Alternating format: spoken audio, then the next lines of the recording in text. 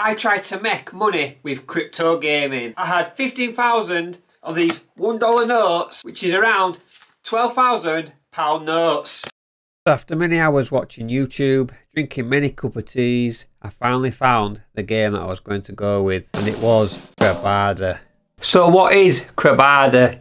It is a fully decentralized player to earn idle game. So it's pretty simple to play. There's not much gameplay involved, but there's some unique features that we need to know about. So we have the list here and Crabada say that it is a unique PvP infused gameplay. Breeding, and you have the marketplace, you have lending, you have hiring in the tavern, there's a robust roadmap and game progression, game incentive and rewards. So let's jump onto the PC, go through the game and I'll show you some of the gameplay, the marketplace and let's go through the earnings. I'll tell you about my game plan and if it was successful. So let's jump onto it. So we're here in the mining mode and we are mining for crypto coins and the other team has come to try and steal our coins and we are re reinforcing our team to try and battle them out and win and you can revenge them at the end if you do lose with a chance to reclaim your coins back. So this is pretty much the gameplay at the minute. You can be the miner or you can be the looter. If you win the mine, this is how much crypto coins you win and if you lose, this is how much you win or losing.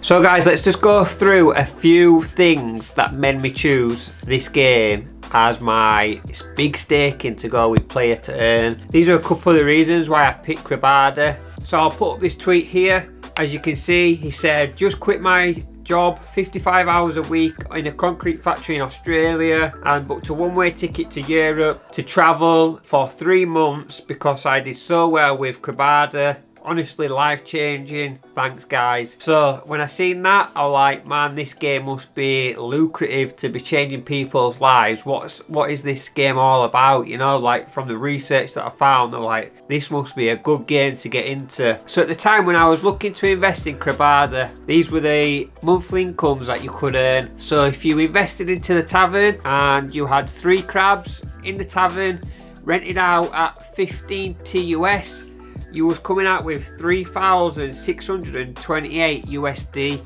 That's monthly income. You know, imagine earning 3,000 a month just from renting out some crabs. Like, come on guys, that's like next level stuff. That's more than I was like earning on my full-time job, you know. so as soon as I seen that, I was like, man, this is crazy. If you had a win rate of mining of 30%, you was earning 4,921 USD.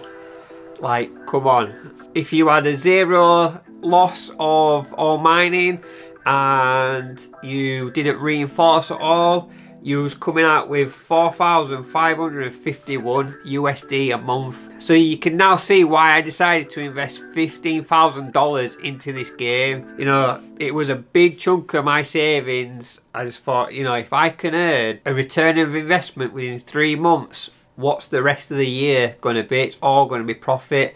And I was like, this is unreal. Like I could be earning this sort of money just from renting, you know, renting out crabs or doing some mining. It's like it doesn't even sound real, does it? Renting out some crabs, and you're earning four grand a month. Like I was just like, yeah, let's go for it. Boom, let's go. So at the time when I bought my crabs, the price pure bulks, which at the time were the best crabs. They were like undefeatable in the mine. I bought these for 2,500 TUS. So that was around 6,500 pounds a crab. So at the time, that's all I had. And what I did then was I bred the two together got an egg, had to wait five days, and after the five days, I got a new crab.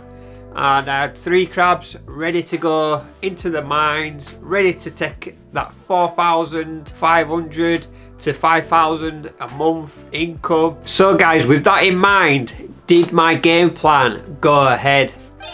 No, it didn't. And basically what happened, I bought my crabs, I put them in the tavern, the two. So they were earning me TUS. Well, I had to wait five days for my crab to hatch. And on the day of hatching, the 16th of February, Crabada came out with an update and this update was not good for the bulks. What was the update that was so terrible? Fractional differences. I'll show you the chart and this is the chart so as you can see the primes can take the bulks and every time I went into the mine. It was the primes were coming for me. They were ready to attack. I had a minus 7% on my points. So with that fractional difference I pretty much lost every game. I even spent up to 50 TUS on reinforcements. Majority of the time I was still losing. So I did a bit of a test and I tried out different methods and different ways. And the overall I was losing around 80% of the matches even with reinforcements. And then it didn't end there.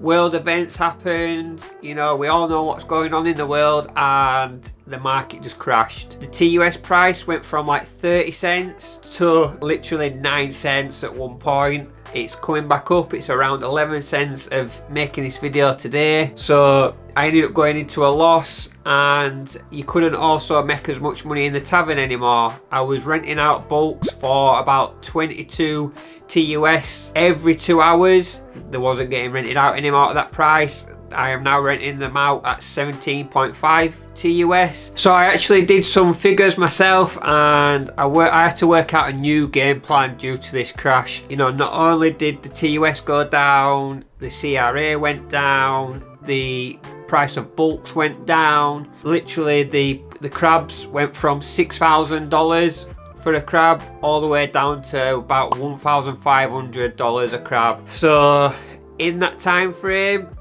I put in $15,000. Crabs were only worth about 4,500. You know, what do you do at this point? You can't just say, oh, I'm going to sell them. You're taking a massive loss. So I had to go back to the drawing board. I got a notepad and pen and worked everything out. So I worked out due to having all bulks and having the fractional difference, it was better for me just to put the crabs into the tavern and rent them out. Every two hours, the crabs get rented out.